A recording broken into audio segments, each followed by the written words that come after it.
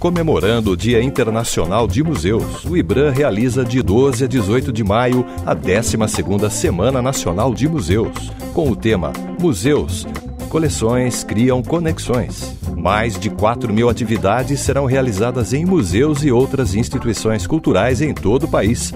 Mais de 1.300 entidades inscreveram projetos para a semana. Para saber mais e ver a programação completa, é só acessar o site museus.gov.br. A 12ª Semana Nacional de Museus é promovida pelo IBRAM, Instituto Brasileiro de Museus.